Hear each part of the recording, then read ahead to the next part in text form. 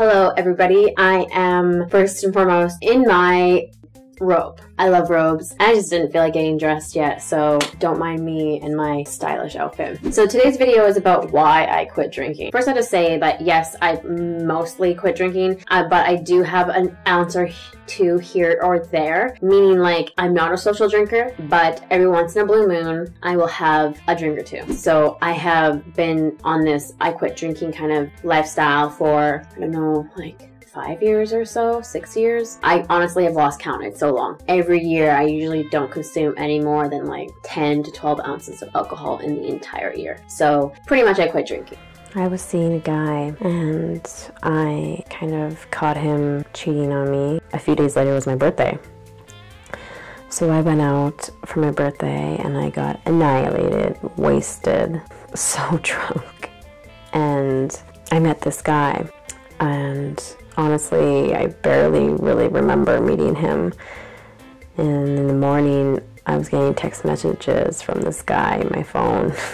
and I was like, who is this? And he was like, seriously? You don't remember? I'm like, no. He's like, wow. And he's like, we like made out last night. And then he told me his name, and then all of a sudden, like, a little bit of a memory came back, and I was like, oh, yeah, I remember this guy. And it was funny because I was working at the gym at this time and I remember seeing him at the gym and thinking like, wow, he's hot. And then I ended up bumping into him at the strippers on my birthday, wasted, and I went up to him and I think I said, You're gonna be my boyfriend for the night. and so we hung out and we made out and that was really about it. I guess I was so drunk that uh, he was like, okay, I'm gonna just like leave her here now, like with her friends. She's too drunk. But then we continued to text. He was he had actually just like left uh, town. He was doing like a week on, a week off, and so he would drive to the nearest city on his days off, where his home was. And so we just continued to text, and there was just like a spark, click. But like that week, like we were texting and everything, and obviously added him to Facebook, and I was like, this guy is so cute, and he's so funny, and we were just vibing. And then I went out with my girlfriend and got annihilated, wasted, blackout drunk again, super drunk, and again didn't really recall much of the night, but I can remember this little sliver of the night, and I was like, I asked my girlfriend, did I hook up with that guy? And she's like, yeah, you did. And I remember thinking I didn't want to do that. Like, I don't know what overcame me, like what was I thinking, and I'm really attracted to this guy, so like I have no interest in this other guy when this new guy that I had met on my birthday, who I would later end up dating, I was like so drawn to.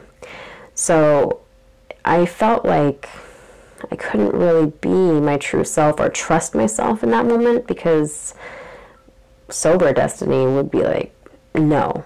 But drunk Destiny was like, whatever. So that was kind of like a quick moment of like, I'm gonna just chill on the drinking.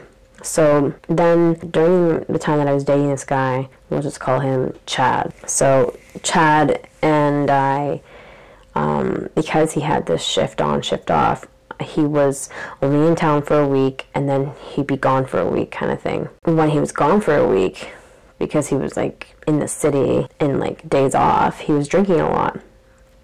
And so he would get really drunk and he would call me and he'd say a bunch of weird shit. Some of it cute, some of it not so cute, some of it embarrassing, some of it rude. Um, and he would never remember it. Like I'd have to say, "Do you remember calling me?" He's like, "What? What did I say?" It was, and it was over and over and over. It was just like a repetitive ritual. He would get drunk. He would sometimes get high and drunk, and he wouldn't recall what he was saying to me.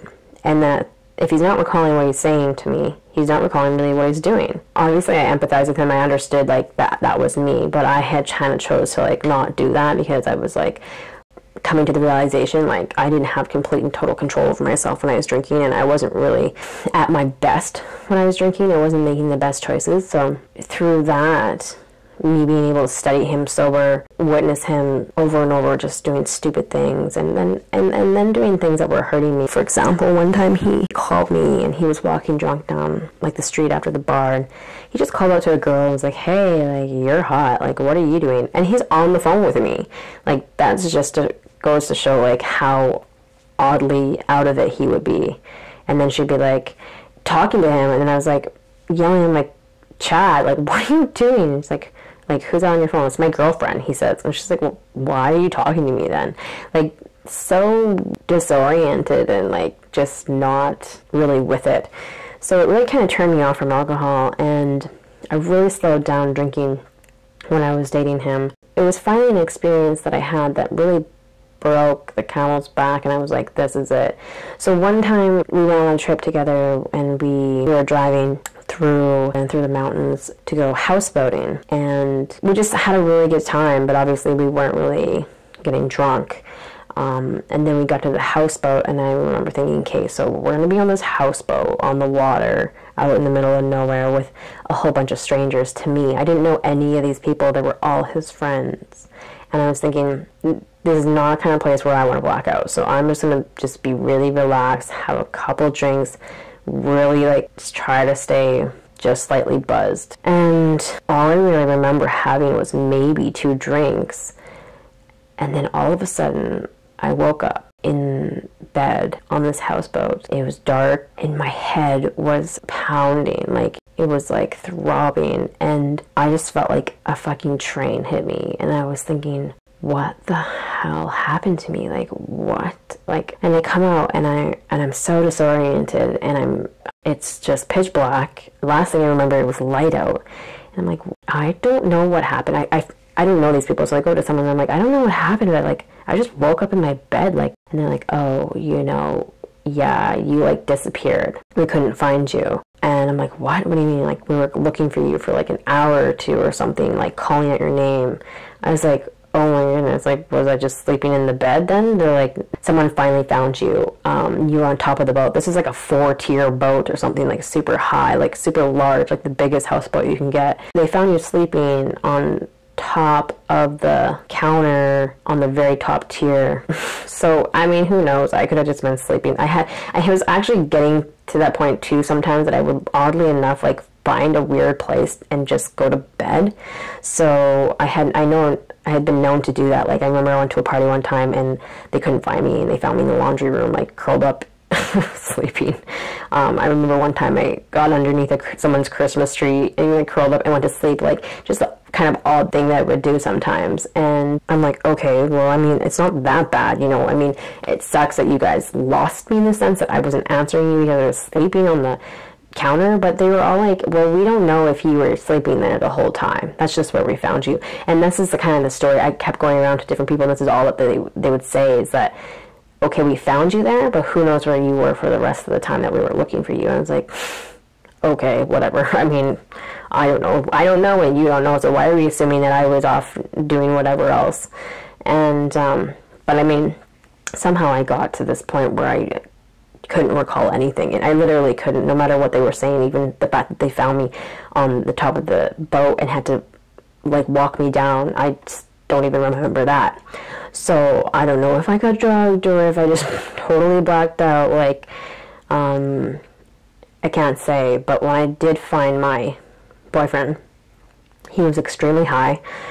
Uh, really drunk. I don't know if you've ever seen something like this, but when they're extremely, extremely drunk and really, really high on cocaine, they kind of almost in a sense become a different person and they're very sketchy, like very twitchy, very you know, almost like sweaty and their teeth are grinding and clit glitching or clicking and their eyes are googly and weird and they're just like they look sick.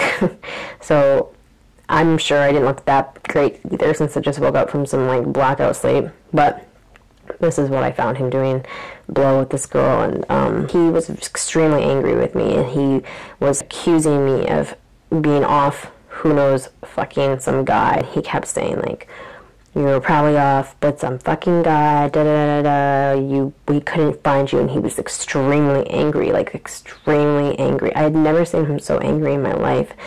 In his defense, he wasn't even himself. He was, he was beyond. He was gone. He was something else was inhabiting his body. He was way too out of it. I remember being in the room alone with him, and he was just yelling at me, calling me names, filthy names, accusing me of doing who knows what with who knows who, and um, scaring the shit out of everybody, ruining everybody's night, and um, he was like really in my face, and he was really, really scaring me. And I, can you please stop like yelling at me? Like I just want to make peace, but like I can't do anything. I can't change what happened. I'm sorry. I couldn't really put up with his shit anymore, and I decided to leave the boat. So as I was walking off, that someone walked by. My memory kind of recalled his face, but not clearly. He was super friendly with me. He's like, "Hey," like, and he knew my name. And he was like, "Destiny, like, what you doing? Want to come party with us?" And I'm assuming like I must have been partying with them. They already kind of like met me. They were the boat beside us. Like we had docked on this land somewhere and, and I said, Yeah, sure, why not? Like this whole boat hates me. They think I ruined their night and they're accusing me of being some like whore and I'm not having any fun here. My my boyfriend is fucking evil and possessed and beyond angry with me. So I'm like, I might as well just go with this guy. He's super friendly and you know. And then my ex came off well, ex now, yeah. At the time, my uh, boyfriend came off the boat and he's like, wow, you're like, you fucking slut. You're going to fucking fuck this guy or something? Just fucking absurd. And I was like, are you fucking kidding me? Like, I'm just going to, like, I'm at this point I'm so dead sober it's not even funny. I must have been sleeping for at least an hour or two. I guess a few because I'd been sleeping on the top of the boat as well as in the bed. So I snapped and uh, I was like, I, I can't be here. I need to leave. Like I need to leave now. And I I stayed there for like a couple more hours and a few more hours until the light came up and then someone got me out of there. I had to uh, get in a boat. It was either a boat or a sea-doo. I wish I could recall and go across the lake with my stuff and then find the Greyhound and get a Greyhound back. It would have been 18 hours back home. And uh, I was like, hey, I'm done drinking. And I really pretty much quit drinking at that point for like at least close to a year. And uh, I was like, you know what? I can't be a good girlfriend if I'm drinking. I can't trust myself. I can't verify where I've been, whether I've been sleeping or whether I've been off with someone random, and I have no clue, you know, what's going on. In in that situation, like I really loved him and really wanted it to work, and I didn't want to s- sacrifice it for the just the need to drink. I really didn't need to drink. I, in my eyes, I was like, I'd rather be with him sober than lose him because I'm drinking. But the unfortunate thing was that he didn't feel the same, and he had the same issue kind of that I had, and um, so we ended up uh, breaking up. I don't need alcohol to really be who I am. So I really feel like alcohol is so popular because a lot of people do need it to kind of express themselves more honestly and clearly or just feel more comfortable in their space and care less. Like they have this I don't give a fuck kind of attitude, which in reality we all kind of want to have. And obviously, if you struggle with being able to be comfortable with yourself and you need alcohol for it, I understand why you drink. That was me at some point. But if you can get around that and figure out in your head that it's just in your fucking head that you can dance and you can talk and you can be open and you can connect with people with alcohol, then it's much better to go out and just not fucking drink. There's just so many reasons that drinking just sucks. people use it to bond with each other, to use as an excuse to hang out with each other. And I mean, that's why birds of a feather flock together, right? That's why the meth heads hang out with each other, potheads hang out with each other, the alcoholics or the partiers hang out with each other, the ones who pop ecstasy hang out with each other. There's like these little groups. It's all about like being social, being connected, being accepted, and maybe even just having a secret together. And that's a lot of the reason why people drink. But if you see around that and you see that's why people are drinking, you don't need to drink. You're just like, whatever. Everybody just wants to like connect and be friends and whatnot. You just have to find another reason to hang out because you will find if you quit drinking, all of a sudden you don't have anyone to hang out with because everybody else just wants to call you up to do drugs or drink with you. I quit drinking because of a number of things. One of them being that I would black out. so when I say hmm. blackout, I would literally forget or not recall whatsoever what I did for hours at a time. It could be an hour that I, I seem to have forgotten. It could be up to like four hours that I seem to have forgotten. The worst that I ever experienced it was one time when I went to a all-inclusive resort in Mexico. It was my first time at an all-inclusive and I just couldn't handle the whole fact that everything was free and you could just drink as much as you wanted and everybody wanted to drink. So really, honestly, I remember like a couple hours of each day. And right now I recall like barely anything. And a lot of the things I recall are because of the fact that people told me about what I did later when I was sober. So, you know, a lot of people would say, yeah, I don't really remember stuff. But then when someone would say, you did this, do you remember? It would come back to them. It was not like that for me. It would not come oh. back to me. It would not come back. Like, as hard as I'd like to try, I could not remember. If I blacked out, it was gone. Gone from the memory bank. It was like it never ever happened. The things that I would do when I was blacked out, I was even begin to explain stupid shit that I would do. But if you want to hear about the stupid shit that I would do, then comment down below and I'll make a video separately on all the stupid shit I used to do and why in detail I quit drinking. But blacking out was a huge thing for me. I said, you know, what is the point of me drinking if I am not going to remember anything that I did that night? That's like going to bed. I might as well just go to sleep. So yeah, it was maybe amusing and entertaining for other people, but for myself, it was just a waste of time. So that was a huge part of why I quit drinking. Another part was that I had my own company. So I've had my own company for many years now. And I felt like I needed to be more responsible. Like I couldn't have my job or even reputation jeopardized by the destiny that came out when she was drinking.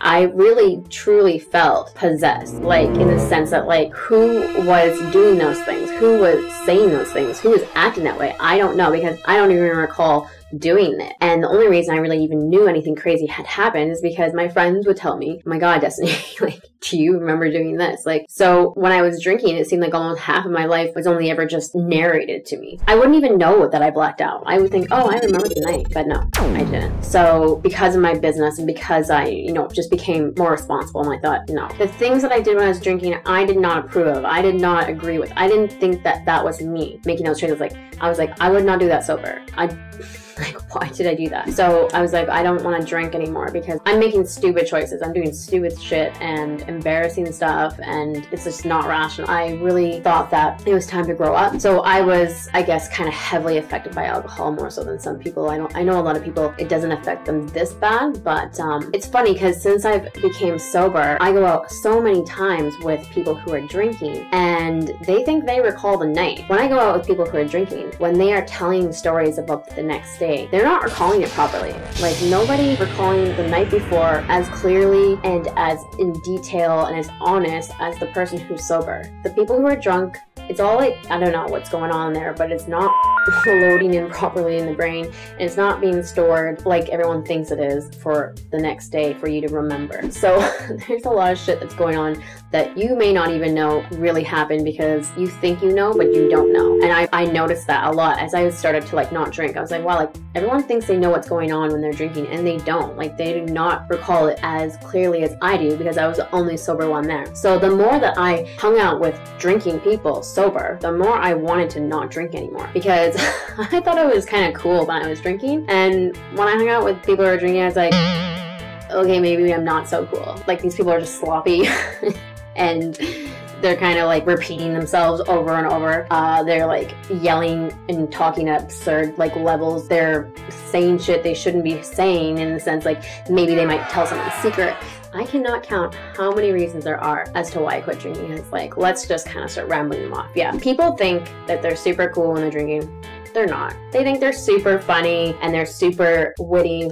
They're not. Um, they look sh- like shit. they start to like just. I mean, I'm sure you've taken a selfie when you're drinking like shit. Why do I look like shit? I don't like. Yeah, you, you just start to look like. I mean, you're poisoning your body, really. So your body's just like, uh. Their eyes go all funny. You know, like their words maybe slur. They're stumbling. They're these are things that I do too. So let's say like you as a drinker may experience memory loss, saying shit that you regret, saying other people's secrets. Let's see, doing shit with people you shouldn't be doing, like you know whatever if that's like sexual things or maybe drugs. Like drinking is the gateway to drugs. I can't count how many people it's like they're drinking all of a sudden they're like, you know, they're skiing. They're like they're drinking and if they have an addiction, like if they're fighting smoking or even they don't smoke, all of a sudden they're smoking. They're smoking and they're snorting or whatever. It's like da da da da da da da. Drinking kind of leads into this and this and this. More reasons that I don't drink is because I like being able to drive myself home. I like being able to move from location A to B if I want to in the middle of the night, like leave whenever I want, not having to get my car in the morning. I hate the hangover. Oh my god, the hangover is horrible. And as you get older, it just gets so much worse. But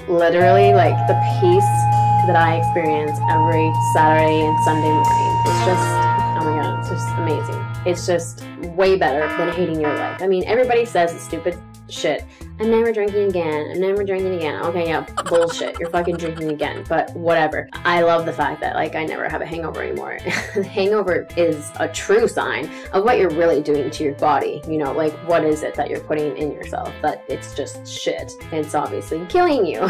yeah, like you never lose your cell phone. I can't count how many times I lost my cell phone drinking. You never lose your bank cards or your credit cards, your wallet, your purse, your life. You always have that. You know where all your shit is. you know where your body's been. Sometimes you end up hooking up with people that you didn't want to hook up with and you shouldn't be hooking up with. So you never have that regret. Yeah, why else do I not drink? Oh my god, I save so much money. it is expensive to drink, especially out when you're out and about at the bar and whatnot. So I don't spend absurd amount some money on drinking. Another reason why I don't drink anymore is because I don't like wasting the next day away. Because in reality, I can't count how many times because of a hangover I was like, okay, the next day is a write off. And sometimes it would go into two or three days, depending on how bad it was. But the next day, I am, you know, maybe in bed all mm. day or mm. just hating life. Like the whole alcohol is depressant, you definitely feel it the next day. Especially when you don't drink for some time and then you do suddenly drink, you're like, wow, like I hate the world, I hate life, I hate people. Like you're just cranky. It's not like you drink and the next day you're like, the fucking rainbows are out and flowers are out and I just love life and just everything's so great. No, that's not what happens. You're like, oh my god, I'm never fucking drinking again. You know what I mean? Like, oh my god, I'm never drinking again. Like, fucking hate my life. Like, that's the kind of whole energy when you drink the next day. So the next day, you feel like shit, you're bitchy, you're negative, and you also most likely are going to eat some horrible food to make yourself feel better. So, you know, McDonald's is usually what I consume when I'm drinking the night of when I'm drinking, and then possibly the day after or whatever. But I'm definitely uh, eating more fast food the more I drink. So that's another reason why I quit drinking. I didn't find that I would be as productive. So I wasn't going to the gym and going to yoga. I was like, fuck it, you know? So yeah, these are why I don't drink. And honestly, life is so much better when you don't drink. It's hard because obviously it's an addiction and everyone's fucking doing it and everyone's trying to make you think that you need to do it to have fun, but I don't think so. I don't think you need alcohol to have fun. So that's kind of why I quit drinking, and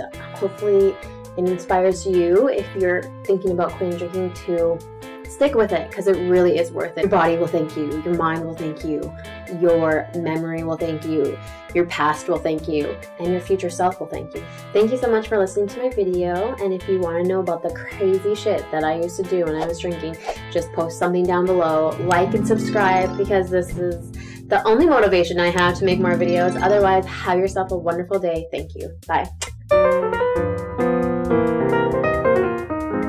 Remember going to a bar with him and I was sober and he was drinking and I look over and he's picking some girl up and putting her on the bar and doing a body shot off her.